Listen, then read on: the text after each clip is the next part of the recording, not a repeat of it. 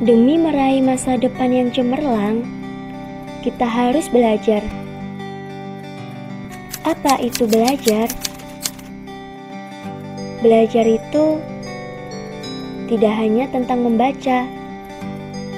Belajar itu tidak terbatas oleh media, ruang, dan waktu. Dan belajar itu juga tidak mengenal usia dan kasta.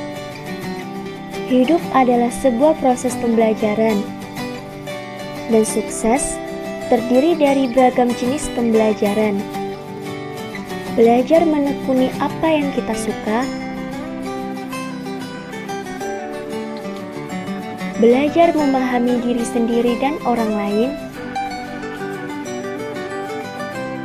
belajar mengenal lingkungan sekitar kita dan belajar bersikap lebih peduli terhadap lingkungan, hingga terbentuk sebuah pribadi yang berwawasan, berilmu, dan beretika. Menjadi lebih baik itu baik, menjadi lebih baik dengan belajar.